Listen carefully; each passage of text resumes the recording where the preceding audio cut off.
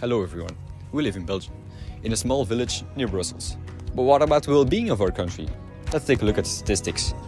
But well-being is rather difficult to explain in only one number. Therefore, we need to compare some factors. The amount and quality of leisure time is important for people's well-being, for the direct satisfaction it brings.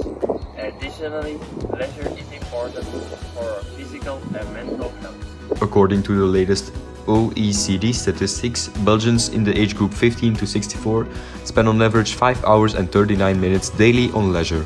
Only Norway and Greece do better. On the other hand, they spend 11 hours and 4 minutes on personal care, which includes sleeping, eating, resting, etc. This places Belgium 14th in the OECD ranking. But what about the mental health in Belgium? We achieve a 6.8 out of 10 on the World Happiness Index.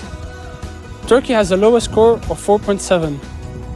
Yet, we have the highest number of suicides in Europe. 15 out of 100,000 people commit suicide. The average number in Europe is 10.7. Results show that approximately 75% of suicides are committed by males. But what about the education in Belgium? In Belgium, only 15% of our population in the age gap 25 to 54 years old is low skilled, which is below the European average of 18%. On the other hand, 45% of our population is highly educated, which is way more than European average of 37%. Money doesn't buy happiness, they say. Yet, it is an important factor in determining the well-being of a country.